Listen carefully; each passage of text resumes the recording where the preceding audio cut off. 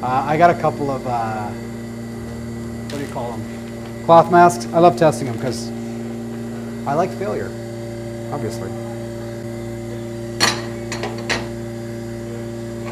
So you can see it's one of these. Ah! So I'm not going to try this one on because I'm not sure what you had for lunch like six months ago. All right, we're letting her rip. This is a PFE machine, particulate filtration efficiency machine. Today we're touching, testing the T-Hood. Why did you buy that, Chris? 10 pieces mouth mask, unisex cartoon funny teeth pattern, three layers cotton half face mask. Type mouth muffle. No wonder why Republicans hate masks. mouth muffle. Ear hanging, uh, cotton material.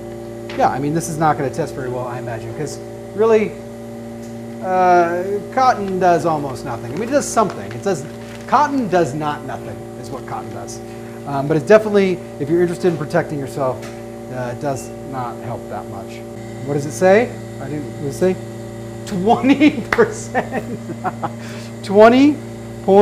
Five three three and forty-eight point five pascals. So, what's interesting is that the V-Flex mask and I believe the Gerson mask all test around this same pressure drop, which means breathability, around 45, 48 uh, pascals, and the uh, uh, but the efficiency of those are like 99%. So horrible. It's like why even wear a mask? Right?